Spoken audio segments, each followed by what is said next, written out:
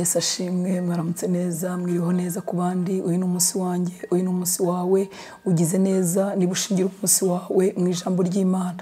Uzagendana ubutsinzi uzagendana imbaraga mu muntu wawe wamwe imbere bizaguha gutsinda imiyaga yose umwana satani yaguteza. Ikindi bizaguha imbaraga zo gukora ubushake bw'imana. Turakomeje no gufatanya uru rugendo rwo gusoma ijambo ry'imana hamwe kugira ngo duterane inkunga kugira ngo dukomezanye.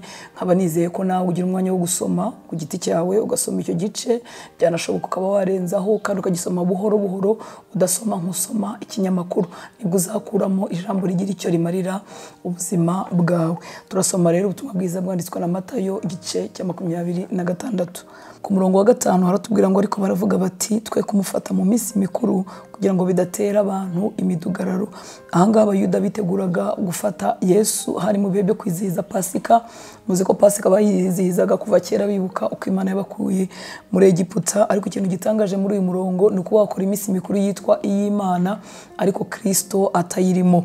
Na n'uyu munsi biracyashoboka ko twagira ibikorwa bitandukanye twita iby'imana yaba za noheli yaba ibindi bikorwa bitandukanye dukora mu nsengero ariko imana atari yo santire y'icyo gikorwa. Igihe cyose twaba dufite ibikorwa bitarimo urukundo bitarimo kugerageza kubaha imana no gukora ubushake bw'imana biba byenda kumera nk'iyi minsi mikuru y'abayuda yari iminsi mikuru ariko itarimo kirisito ni ukuvuga ngo banze gufata yesu muri iyo minsi mikuru ariko baramwibikira kuko bangaga ko rubanda rwagira imidugararo. Reka rero umunsi ku wundi ibikorwa byitwa iby'imana ukora yaba mu rusengero rwawe mu idini ryawe usengera mu buzima bwawe bwa buri munsi uzajya ureba ko imana itabikuwemo. Nugira ibyo wizihiza.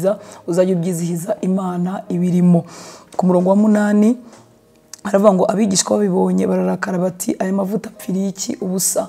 Uyu ni wa mugore waje asuka amavuta ku birenge bya yesu hanyuma ikintu gitangaje ni uko abigishwa bo babibonye nk'igihombo. Nagira ngo ko nuhaguruka gukorera imana ukagira ibyiza utanga mu bwami bw'imana hari abantu benshi bazabibona nk'ibipfuye ubusa. Ndetse nawe ushobora kugira ayo maso wareba ibikorwa bikorwa kugira ngo abantu bamenye kirisito kugira ngo ubwami bw'imana bwamamare ukajya ubibona nk'ibintu bipfuye ubusa. Ariko muri ubu bwami ku mwami wacu dukwiye gukoresha rwose iby'agaciro dufite ndetse n'iby'agaciro twifitemo. Ikintu cyose cyakorwa kugira ngo ubugingo bw'umuntu bucungurwe ikintu cyose cyakorwa kugira ngo ubwami bw'imana bwaguke hirya no hino mu bantu ntabwo kiba ari ikintu gipfuye ubusa. Niba dushobora kwikoreshaho ibintu bifite agaciro kandi tukabikoresha mu bintu bizashira tukiha ibyiza igihe tubishoboye kandi byose ari ibintu bizarangira ntankazwe ikintu cyakorwa kugira ngo ubwami bw'imana bwaguke abantu bakizwe ni ngo riba ari ibikorwa bizagera mu bugingo bw'iteka ntabwo kiba ari ikintu gipfuye ubusa.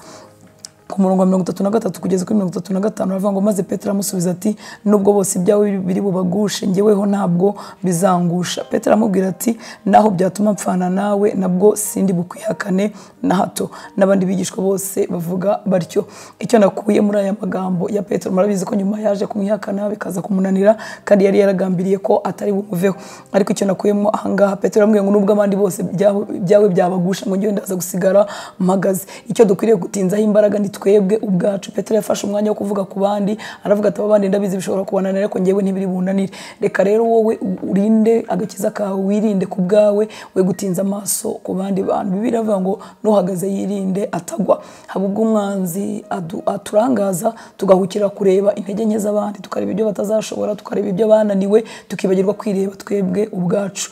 Rero ahangaha petero yavuze ngo we ntibishoboka ngo no mu rupfu bazagera na yo. Ariko turamubona byamunaniye turi abantu ubuntu utirinze burya wagwa wacogora ugakora nk'ibyo abandi wagayaga bakoze. Ku murongo wa mirongo itatu n'icyenda ngo yigira imbere ho hato arunama arasenga ati data niba bishoboka iki gikombe kindenge ariko bye kuba uko ngewe nshaka ahubwo bibe uko wowe ushaka. Yesu yaragiye kubera ku gikombe cy'imibabaro kitoroshye gikomeye ariko agerekaho iri jambo rivuga ngo bye kuba uko nshaka ahubwo bibe uko wowe ushaka.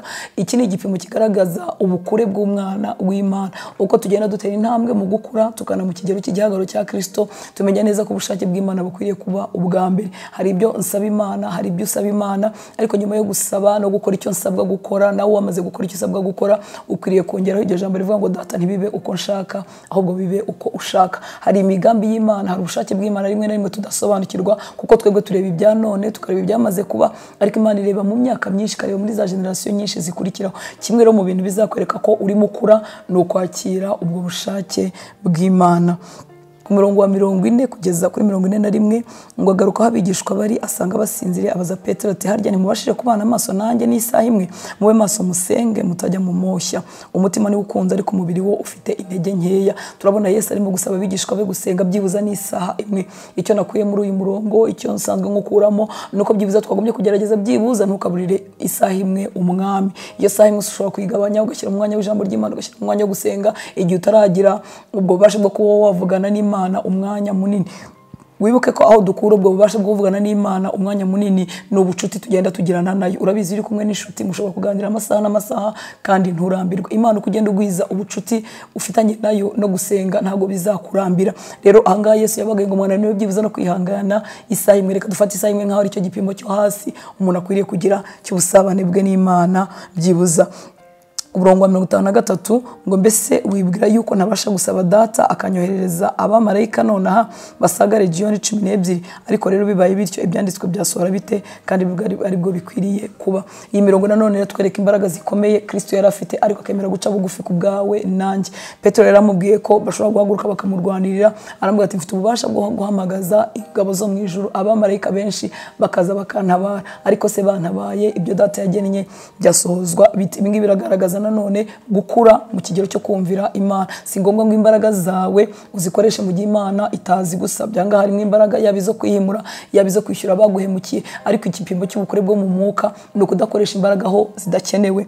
Imana yacu itugirire neza. Umurongo wa mirongo itandatu na gatatu uratubwira ngo yesu aricecekera. Umutambyi mukuru aramubwira ati nkurahije imana ihoraho tubwire niba ari wowe kirisito umwana w'imana. Icyo nakuyemo ahangaha ni uko ibisubizo byose atari ngombwa kubisubiza niba ariko navuga. Ni ukuvuga ngo yesu bari barimo kumubaza ubusa niba ariko navuga ngo yesu aricecekera ntiyabasubiza igihe wumva ari ibibazo by'impaka bidafite icyo birimo byungura byaba byungura ukubaza byaba byungura muri icyo kiganiro ufite uburenganzira bwo kwicecekera kandi nta cyaha waba ukoze. Mirongo itandatu na karindwi na mirongo itandatu n'umunani ngo ni ukwamukira amacandwe mu maso bamukubita ibipfunsi abandi bamukubita inshyi bati duhanurire kirisito ninde ugukubise. Bamukiniyeho baramushinyagurira bamugira nabi kubera wowe nanjye. Mwibuke ko yesu yari afite imbaraga zo kwikiza ariko ahitamo kutikiza ku bwawe nanjye. Ariko uyu munsi ibingibi byose bidutere kumukunda kurutaho kumwiha kurutaho kumukorera kurutaho. Umurongo wa mirongo irindwi aravuga ngo maze abihakanira imbere yabo bose. Ati ibyo uvuze sinzi ibyo ari byo. Uyu nguyu yari petero